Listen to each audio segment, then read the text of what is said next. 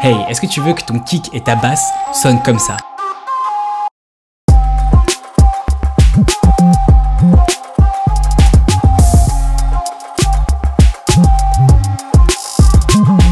Yo la bienvenue pour cette nouvelle série de tutos. Donc on va essayer un nouveau concept, on va essayer de se focaliser sur tout le plus important de la vidéo et essayer de vous donner une astuce qui pourra grave améliorer vos instruments. D'ailleurs je sais pas trop comment je vais encore appeler cette série de vidéos. Si vous avez des idées, n'hésitez pas à les mettre dans les commentaires. La vidéo d'aujourd'hui, ça sera comment faire en sorte de plus faire sortir vos kicks et vos basses. Donc il y a un gros problème que j'entends souvent dans les prods, c'est qu'on a souvent le kick et la basse qui, tu vois, ils se fight, ils s'entremêlent, ils sont pas cool. Tu as le kick qui est là, non, laisse-moi les basses fréquences, la basse pareil, laisse-moi les basses fréquences ça s'entend pas très bien, tu vois. Donc ce que je propose dans cette vidéo, c'est quelques petites astuces pour essayer d'éclaircir la basse et le kick et faire en sorte qu'ils soient en harmonie au lieu d'être en confrontation. Donc personnellement, c'est un problème dont je me rendais pas compte en fait, j'étais là, je regardais mes instruments, je disais ah, non mais mec, euh, ça sonne bizarrement, tu vois, c'est super flou et tout, qu'est-ce qui se passe? Et en fait, j'ai compris très tardivement que c'était un problème entre les basses et le kick qui en fait sont dans la même gamme de fréquences et du coup s'entremêlent. Et du coup, on a grave du mal à distinguer les deux. Donc on va mettre deux minutes au chrono et je vais essayer de vous donner un max de tips dans ces deux minutes. Si je dépasse un peu, vous m'en voudrez pas. C'est parti.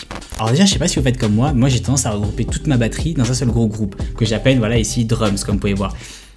Mauvaise idée. J'ai remarqué en fait en faisant ça que tout s'en mêlait. Et donc du coup, ce que j'ai essayé de faire, c'est juste sortir le kick de ce groupe-là. Donc on m'a donné ce conseil-là par un ami et bizarrement, et ben en fait le kick était beaucoup plus punchy et beaucoup plus puissant. Je vais vous montrer avant et après. Mettons que j'ai plutôt mis dans mon groupe de drums, donc juste ici. Moi ce que j'ai tendance à faire, c'est mettre un petit effet dessus. Voilà, je mets un petit compresseur. Ce compresseur en fait, il fait en sorte de tout regrouper et ça crée un espèce d'effet un peu brouillon, un peu flou, qui est pas terrible. Donc je vais vous faire entendre le kick déjà avec cet effet là dans le groupe. Vous allez voir, c'est pas terrible. Et ensuite je vais sortir du groupe. Vous allez voir qu'il va être beaucoup plus punchy. Je vous montre ça tout de suite.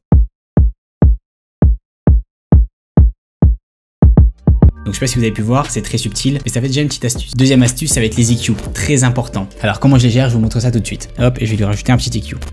Voilà. Donc, on va voir où est-ce qu'il tape.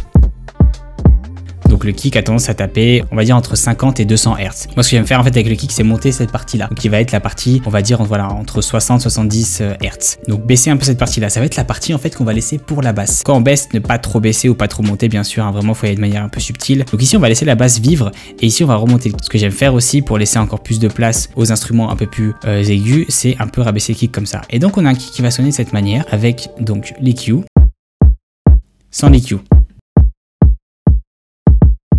Bon là j'ai un peu trop monté les graves, on va un peu redescendre comme ça. Et on va faire la même chose au niveau de la basse qui est juste ici. Et on va faire l'inverse tout simplement. Donc on baisse cette partie là et on va monter celle-ci. Donc voilà, là c'est bien arrangé. Maintenant si on écoute la basse et le kick ensemble.